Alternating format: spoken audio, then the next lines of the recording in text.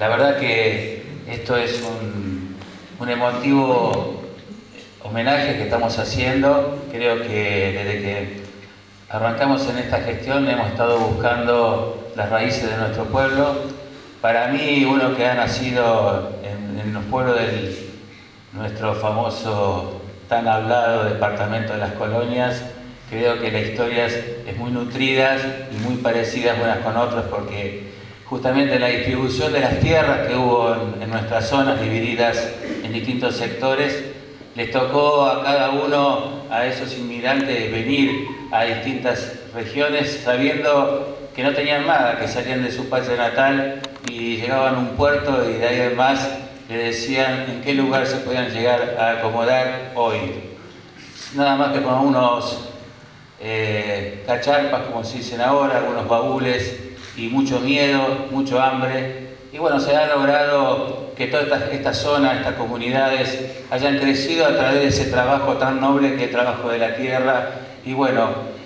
eh, recordar a esa gente, y creo que lo que hemos buscado con esta muestra permanente es que justamente lo que nos estaba faltando en San Carlos Norte es que tenemos una historia inicial, incipiente, muy fuerte, y después tuvimos un bache bastante enorme, bastante gris en nuestra historia de continuación. Entonces a través de un, de un trabajo que Roberto fue encomendado y que siempre digo que fue gracias que fuimos una noche al Trébol a ver el centro italiano allá, y la verdad que nos mostró que otras comunidades tienen, atesoran sus historias como algo muy importante para poder seguir proyectándose como comunidades. Y entonces de ahí vinimos con esa idea, como dice Roberto, eh, siempre me tiran ideas que después tenemos que desarrollar, a veces no son fáciles, pero bueno, yo creo que tiene un acompañamiento espectacular. Eh, está Mariana, está, se incorporó ahora Nazarena, mi señora que siempre está dispuesta a colaborar en todo lo que es la decoración y presencia, y ni hablar que Roberto con todo su bagaje y toda su capacidad de tantos años de, acumular tanta eh, historia, ¿no? Y tenerlas ahí, creo que era muy importante, pero muy importante, poder a él darle esto, que sea un espacio propio dentro de lo que es eh, el eje del Centro Cultural Raúl Crey.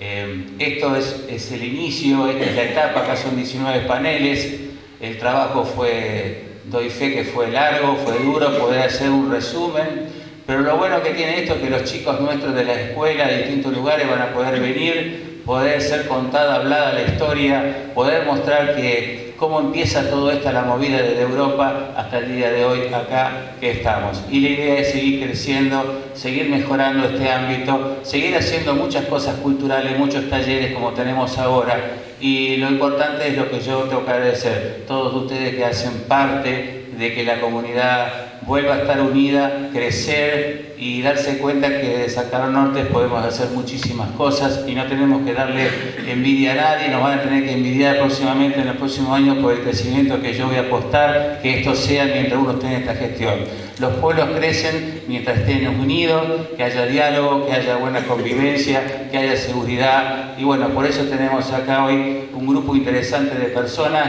al llamado que hicimos y bueno, no me queda otra cosa que agradecerle y sigamos observando esto.